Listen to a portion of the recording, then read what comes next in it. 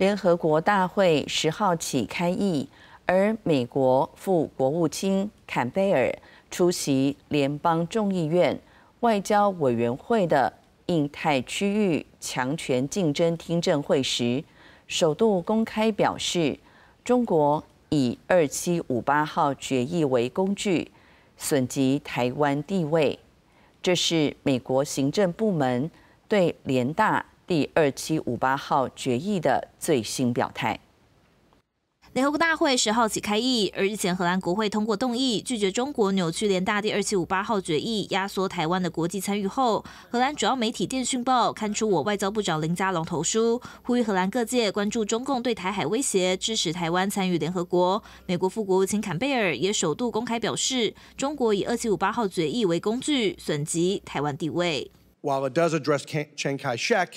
it it it's silent on Taiwan status. Yeah, exactly. And um, it is a tool that China has used in its diplomacy to make the argument that somehow uh, Taiwan's status is illegitimate. 坎贝尔的发言成为美国行政部门对联大第二七五八号决议的最新表态。他也指出，中国已构成美国史上最大挑战，且更胜冷战时期，喊话欧洲对北京当局采取更强硬立场。You know, we stand by our commitments to Taiwan. I will say, uh, Congressman, that framework, it is difficult and challenging sometimes,